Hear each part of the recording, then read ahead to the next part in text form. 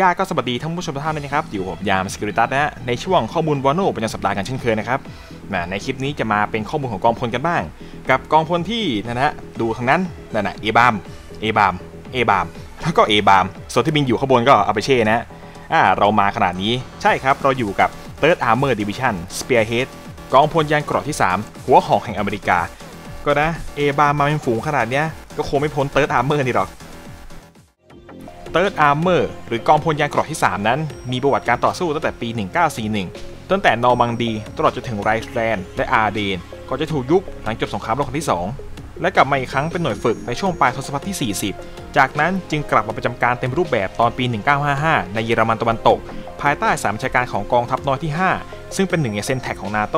โดยกองพันส่วนมากของกองพลยานเกราะที่ 3 นั้น จะประจำการอยู่ใกล้กับชายแดนของเยอรมันตะวันออก ทำให้เมื่อเกิดสงครามขึ้นกองพันเหล่านี้จะเป็นหน่วยแรกๆที่จะเข้าไปตอบโต้การโจมตีของโซเวียต และหากจำเป็น พวกเขาจะต้องยอมสละเกือบทั้งกองพล เพื่อชะลอการบุกในเขตฟูด้าให้นานที่สุดเท่าที่จะทำได้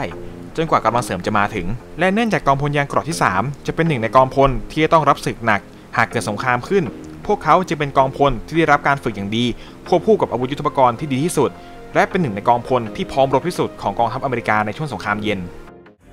คอนเซปต์ของกองพลยานเกราะที่ 3 หรือ Third Armor นั้น เรียกได้ง่ายว่าเป็นการเอารถถังของเราถมใส่รถถังของโซเวียตที่ถมเข้ามา หรือเอารถถังตบหน้ากันนั่นแหละ ในด้านของการสนับสนุน Third Armor นั้นจะมีกองพลน้อยอากาศยานที่ 4 ซึ่งให้การสนับสนุนในด้านของเฮลิคอปเตอร์ต่างๆ ทั้งจู่โจมและสอดแนม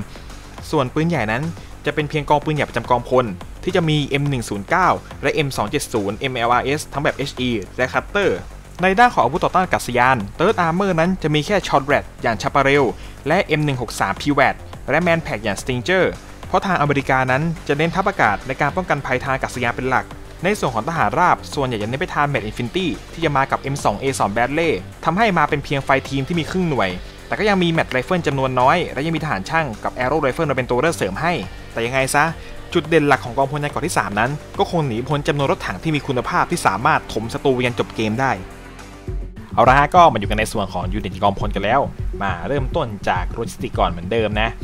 ใบแรกนะ M113A2 supply ก็เป็น supply ขนาดเล็กนะ ให้ 500 หน่วย แล้วก็หุ้มเกราะด้วย มีให้ใช้ทั้งหมด 2 ใบ ใบละ 10 คัน ต่อมานะ M35 supply ก็ supply ขนาดเล็กเช่นกันนะ แต่ว่าไม่ได้หุ้มเกราะ มีให้ใช้ 2 ใบ ใบละ 10 คัน ต่อมา HEMTT นะ เป็น supply ขนาดใหญ่นะ ให้ 2,500 หน่วยนะมีให้ใช้ 2 ใบ ใบละ 2 คัน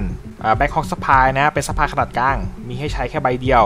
มี 6ลำต่อมาในส่วนของคอมมานด์ก็มีจี p คอมมานด์คอมมานด์หุ้มเกาะคอมมานด์แบดเร่ก็จัดเป็นคอมแบทคอมมานด์นะเป็นคอมมานด์ที่สู้ได้ แล้วก็ command Black Hawk ครับฮอ command ต่อมากับในส่วนของทหารราบ ทหารราบก็เริ่มต้นที่สหอนะสหอธรรมดาสหอใช้ปรส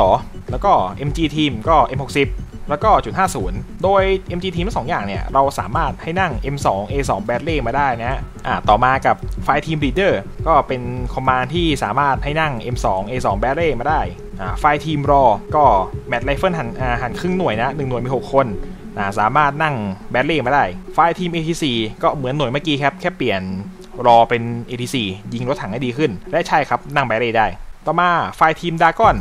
ก็เปลี่ยนจาก AT4 เป็น M M47 Dragon 2 ยิงรถถังในระยะไกลได้ดีนะ แต่ว่ายิงใกล้ไม่ได้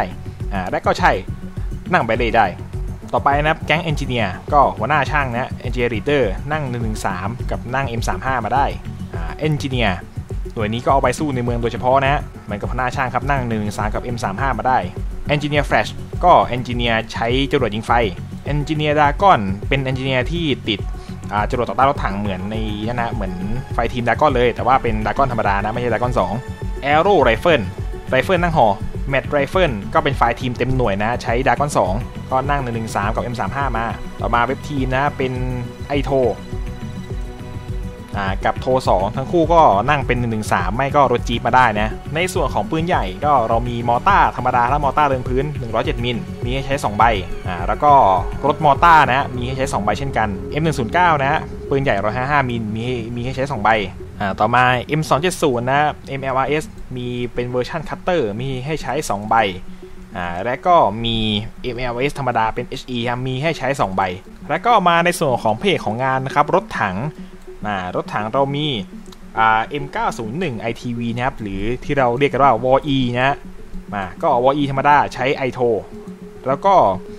อ่าวอ E รุ่น A3 นะใช้เป็นโท2อ่าต่อมารถรถทหารช่างนะ M728 อ่าปืน 165 มิลอ่าไว้ยิงฐานราบโดยเฉพาะต่อมาเป็น M1 A1 A บามคอมานแล้วก็พระเอกของงานนะครับ M1 A1 A บามอันนี้รถถังท็อปนะฮะอ่าเป็น A บาม HA แล้วก็แล้วก็ใน HA ธรรมดา เออ ใช่เมื่อกี้ลืมบอก HA Command พระเอกหลักเพราะว่าเรามี M1 A1 ให้ใช้ถึง 6 ใบ ยัดมาได้เต็มที่ 6 ใบ อ่า แล้วก็มี HA อีก4ใบ เนี่ยเราจะมีเบารถถังทั้งหมดน่ะ48 คัน เราไม่ใช่จำนวนอย่างเดียวเราเป็นคุณภาพด้วย เพราะว่า M1 M1 A1 A บามเนี่ย มันจัดเป็นมิดเทียตัวท็อปเลย ด้วยเกาะ17 เจาะ19 เนี่ย อะไรก็มาอยู่กันในส่วนของรีคอนมาแถบรีคอนเราก็จะมีสเกลตัวรีคอนธรรมดาเลย กับรถเที่ยวเลือนั่งได้ก็จะมี M113 A3 มเอสามมาเป็น113สามสเกลติดปรสแล้วก็ M13 ธรรมดา รถจี๊ปธรรมดา แล้วก็รถจี๊ปสเกลติดจุด50แล้วก็แบ็คฮอคมีให้ใช้ 2 ใบ ใบละ 9 คน ใบละ 9 หน่วยต่อมา LRS มาลองเลนลองเลนสเกล ก็มีให้ใช้ 2 ใบใบละ4คนนั้นนั่งเป็นฮัมวี่กับแบ็คฮอคอ่าต่อมาก็อันนี้เป็นวอ e แบบสเกลนะ แล้วก็แบตเตอรี่สเกลอ่าอันนี้ก็อ่า113ติดโทนะเป็นสเกลเหมือนกัน OH 58 C นะธรรมดาติดกัดลิงอันนี้เป็นรุ่นไคโอวาครับติดอ่าติดเรดาร์เข้าไปทำให้ค่าสปอตดีขึ้น อันนี้ติดด้วย Hydra เป็นอาวุธ แล้วก็อันนี้เป็นรุ่นชื่อว่า Kiowa Warrior นะ ติดด้วย Hellfire ใน tab ของ AA อย่างที่กล่าวไปว่า Third Armored จะมีแค่ SHORAD นะฮะหรือว่า short range air defense ก็จะมีเป็น163 PIVADS แล้วก็มี Chaparral หลักๆมีแค่2คันนี้ที่ตัวเสริมมันก็จะเป็น Stinger อ่า Stinger เราสามารถยัดมาได้ถึง5หน่วยครับ ซึ่งไม่ต้องออกมาก็ได้แต่จริงๆ เอาอย่างอื่นมาดีกว่า เรามี PIVADS 2ใบครับใบละ9คัน แล้วก็ Chaparral 2ใบใบละ6คัน แล้วก็ยังมี OH 58C ติด Stinger ด้วย เอามาบินคุ้มกันก็ได้ มาก็ในส่วนของเฮลิคอปเตอร์นะที่จากที่กล่าวไปว่า Third Armored จะมีกองพลน้อย กองพลน้อยอากาศยานคอยสนับสนุนทำให้เรามีเนี่ยโคตรโคตร Apache เนี่ยใส่มาเลย Apache เต็มๆเป็นเช่ rocket อ่าเช่ธรรมดาผสม rocket กับ Hellfireแล้วก็เช่ที่ติดแค่ Hellfire แล้วก็ยังมีตัวเลือกที่ราคาถูกกว่าอย่าง Cobra เป็น Cobra ติด TOW กับอ่า Cobra missile ล้วนในส่วนของอากาศยานนะเรามีแฟนทอมแฟนทอม HE แฟนทอมคัตเตอร์ แฟนทอมในป้ามอ่าแล้วก็มี